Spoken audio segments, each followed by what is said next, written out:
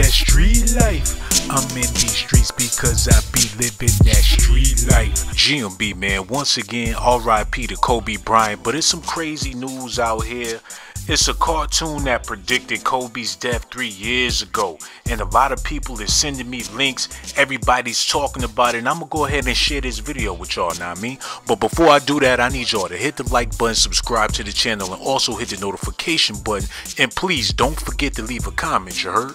It says here Kobe Bryant's tragic death in the helicopter crash was predicted more than three years ago by a Comedy Central animated sitcom called Legends of Chamberlain Heights. The show, which aired in 2016, predicted Kobe going down in a helicopter crash. A distressed Kobe is seen crawling out of the helicopter, and the character says to Kobe, Pass us the trophies and we'll help you. Kobe refuses, and the helicopter explodes.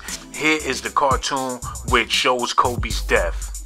Hey man, I'm about to play this cartoon for y'all real quick and let me know how y'all feel about this. Ooh, it's Kobe Bryant. Help me. Just pass me the trophies and we'll pull you out. Pass. These were Shaq's. Yo, not only is this crazy news, but it's very, very disturbing. I really don't want to speak on it too much because Kobe is no longer here, and I'm not trying to make a mockery of this man or make entertainment purposes out of what happened. But something is very, very fishy about this situation. We need to have a discussion about this in the comment section for real, for real. And there's also one more thing I want to say to you sisters out there. I understand you may be a feminist or you may have something against black males, but y'all ain't got to be disrespecting Kobe like that. Yes, his daughter also passed away. God rest her soul. But so many sisters talking about F Kobe, it's all about his daughter. That is so ignorant for y'all to dismiss that man simply because he's a male, but you want to mourn his daughter alone?